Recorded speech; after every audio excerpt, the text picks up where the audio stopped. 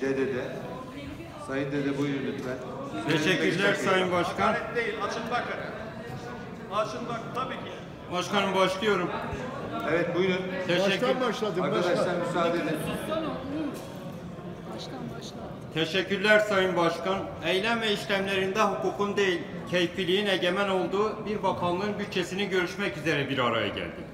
İçişleri Bakanlığı'nın keyfi, kanunsuz polis devleti uygulamaları hukuk devleti ilkesini ortadan kaldırmış durumdadır. Bir parti üyesi gibi davranan, iktidar partisinin ilçe başkanları gibi, parti üyeleri gibi hareket eden mülki idari amirler ve güvenlik güçleri Türkiye'nin bir hukuk devleti olduğu söylemini sürekli çürütmektedirler.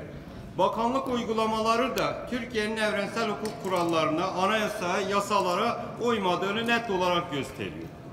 İktidarın ideolojik yaklaşımı ile yönetilen yasaların açıkça askıya alındığı bir durumu yaşamaktayız. Şimdi burada İçişleri Bakanlığı'nın yaptığı hukuksuzlukları saymakla elbette bitiremeyeceğiz. Dünyanın herhangi bir ülkesinde bu tarz uygulamaların onda biriyle karşılaşılsa emin olun o bakan o koltukta iki dakika durmazdı. Açıkça yurttaşların yaşam hakları başta olmak üzere sosyal, siyasal, ekonomik tüm haklar bakanlık uygulamalarıyla ihlal edilmiyor. Anlatacağım. Anlatıyorum, anlatıyorum. Gerek uluslararası sözleşmelere göre, gerek iç mevzuatımıza göre, Sayın Başkan, Sen devam et. Evet arkadaşlar müdahale etmeyelim. Devam et. Sen durdurur musunuz Sayın Devam et, Başkan? devam et, devam et. Uyardım devam edin. Gerek uluslararası sözleşmelere göre, gerek iç mevzuatımıza göre herkes tepkisini kişisel ya da toplu biçimde barışçıl gösterilerle ortaya koyma hakkına sahiptir. Buna eminim kimsenin itirazı yoktur. Bu hak anayasal olarak güvence altına alınmıştır. Bakanlığın da bundan haberi mutlaka vardır. Bakanlığa bağlı merkez ve taşra birimleri eliyle yasaklamalar ve kolluk şiddeti ise kural haline gelmiştir.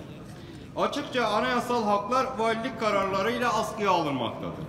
Valiliklerin yaptığı eylem, etkinlik yasakları bu hukuk tanımazlığı çok net olarak göstermektedir. Bakın seçim bölgem Hakkari ilinde ve Van ilinde. 2016 yılından beri eylem etkinlik yasağı bulunmaktadır.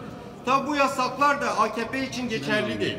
Ha pardon şey Hakkari coğrafyasının yüzde seksanı böyle keyfi olarak yasaklanmış durumda. Hukuk yok, hak arama yolları kapalı, sonra efendim huzur var, sonra refah var.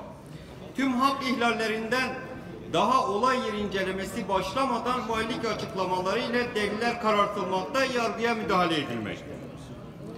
Yine tüm demokratik tepkiler polis şiddetiyle bastırılmaya çalışılarak bir ko- korku iklimi yaratılmak istenmekte.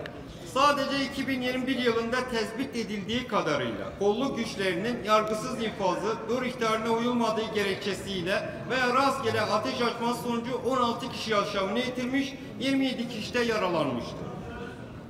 2021 yılında sivil insanlar Yine 12'si çocuk olmak üzere 531 kişi gözaltında, 25'i çocuk olmak üzere 704 kişi gözaltı yerleri dışında kolluk tarafından işkence ve kötü muameleye uğradığını belirtmiş.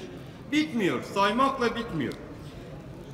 Sadece 1 Ocak 2022 30 Eylül, e, 30 Eylül 2022 tarihleri arasında en az 144 basın açıklaması protestoya müdahale edilmiş ve bu müdahalelerde en az 2335 kişi gözaltına alınmıştır. Basına yansıdığı kadarıyla gözaltına alınanlar çoğu darp edilerek alınmış, kimi zaman ters kelepçe işkencesine maruz kalmış, kimi zaman da ağır yaralanmıştır. Bakın yine partimize yönelik olarak 2015 yılından 17 Ekim 2022 tarihine kadar HDP il ilçe binaları, stand, miting, eylem, etkinlik ve üyelerine en az 338 fiziki saldırı gerçekleşmiştir. Bunlar sadece fiziki saldırılar. Bu saldırıların bir kısmı yaralanmayla bir kısmı ölümle sonuçlanmıştır. Bakın bu anlayışınız sayesinde, bu yaklaşım sayesinde bu fotoğrafı size gösteriyor. Bakın bu bir milletvekili. Bu bir milletvekili. Sadece sadece basın açıklaması yaparken kolluk kuvvetleri tarafından üç yerinden üç yerinden yasakla. Siz kırdınız. Hastane siz raporlarına kırdınız. bakın. Hukuk devleti Senin diyorsunuz. Demokrasi diyorsunuz. Sizin döneminizde Sizin Yalan söylüyorsun. Sizin döneminizde Siz kırdınız, 17 siz, tane siz. sivil Hakkari'de katledildi. Taziyeler de geldi. Sen yardım alacaksın bu konuda. yapmayalım. Sayın Başkan. Gelince